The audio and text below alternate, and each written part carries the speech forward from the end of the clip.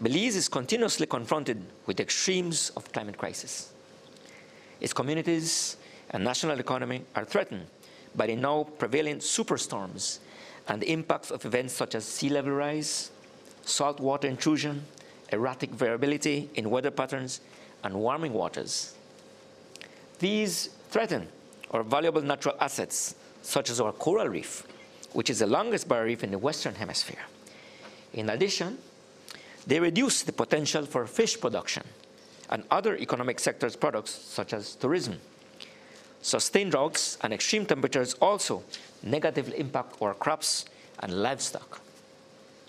While a relatively minor contributor to global greenhouse gas emissions, the government of Belize has outlined goals to mitigate the impacts of our energy, agriculture, waste, and industrial processes and other sectors.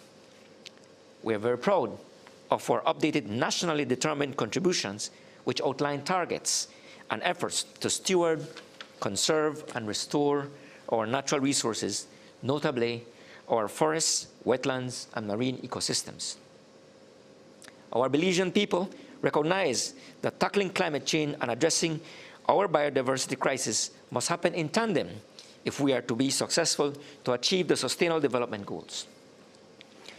Our blue carbon mangrove and seagrass ecosystems play important roles as nature-based solutions to climate change with mitigation, adaptation, and resilience co-benefits.